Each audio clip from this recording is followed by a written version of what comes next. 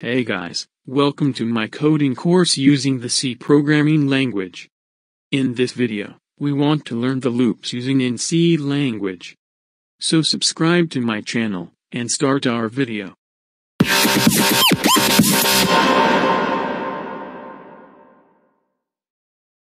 Conditions and if statements.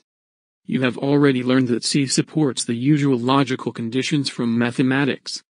Less than. Less than or equal to. Greater than. Greater than or equal to. Equal to. Not equal to. You can use these conditions to perform different actions for different decisions. C has the following conditional statements. Use if to specify a block of code to be executed, if a specified condition is true. Use else to specify a block of code to be executed, if the same condition is false. Use else if to specify a new condition to test, if the first condition is false.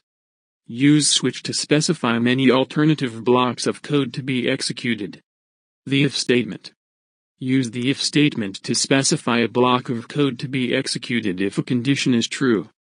This is the syntax of if statement. We write if with a condition, and we write the block of code in the braces. Note that if is in lowercase letters. Uppercase letters will generate an error. In the example below, we test two values to find out if 20 is greater than 18. If the condition is true, print some text. In this example, we use two variables, x and y, to test whether x is greater than y, using the greater than operator. As x is 20, and y is 18, and we know that 20 is greater than 18, we print to the screen that x is greater than y. The else statement. Use the else statement to specify a block of code to be executed if the condition is false. Here we open two braces one for the if statement and other for the else statement. In this example, time, 20, is greater than 18, so the condition is false. Because of this, we move on to the else condition and print to the screen good evening. If the time was less than 18, the program would print good day. The else if statement. Use the else if statement to specify a new condition if the first condition is false. And this is the else if syntax. In this example, time, 22, is greater than 10, so the first condition is false. The next condition, in the else if statement, is also false, so we move on to the else condition since condition 1 and condition 2 is both false, and print to the screen good evening. However, if the time was 14, our program would print good day. Now, the switch statement. Instead of writing many if, else statements, you can use the switch statement. The switch statement selects one of many code blocks to be executed, like this syntax. This is how it works. The switch expression is evaluated once. The value of the expression is compared with the values of each case. If there is a match, the associated block of code is executed. The break statement breaks out of the switch block and stops the execution. The default statement is optional, and specifies some code to run if there is no case match. The example below uses the weekday number to calculate the weekday name. The output here is Thursday or day 4. The break keyword. When C reaches a break keyword, it breaks out of the switch block. This will stop the execution of more code and case testing inside the block. When a match is found, and the job is done, it's time for a break. There is no need for more testing. A break can save a lot of execution time because it ignores the execution of all the rest of the code in the switch block. The default keyword specifies some code to run if there is no case match. Note that the default keyword must be used as the last statement in the switch and it does not need a break. Now, let's talk about the loops.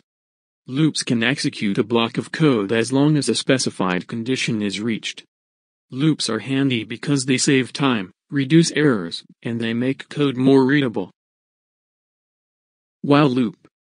The while loop loops through a block of code as long as a specified condition is true.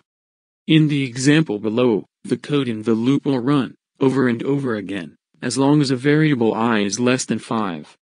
Do not forget to increase the variable used in the condition i++, otherwise the loop will never end. The do slash while loop. The do slash while loop is a variant of the while loop. This loop will execute the code block once, before checking if the condition is true, then it will repeat the loop as long as the condition is true. The example below uses a do-while loop. The loop will always be executed at least once, even if the condition is false, because the code block is executed before the condition is tested. Do not forget to increase the variable used in the condition, otherwise the loop will never end. For a loop.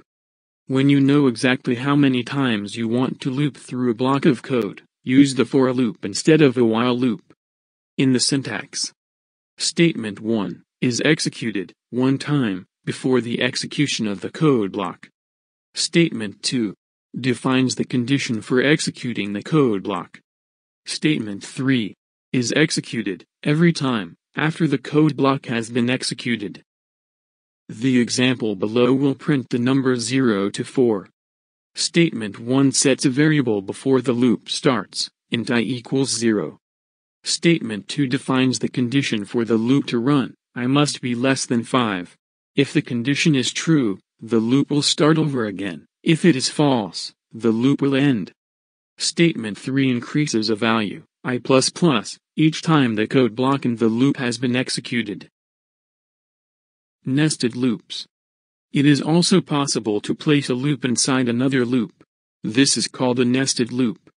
The inner loop will be executed one time for each iteration of the outer loop.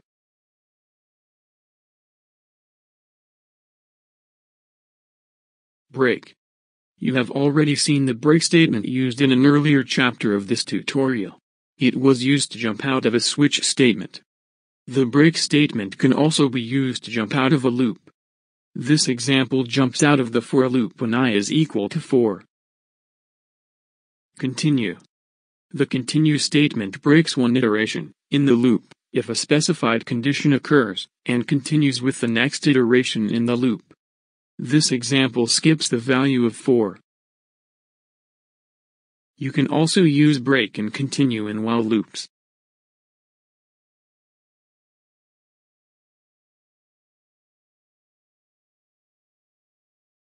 This is all for the loops in C programming language. If you are interested in coding subscribe to my channel and support me for more videos.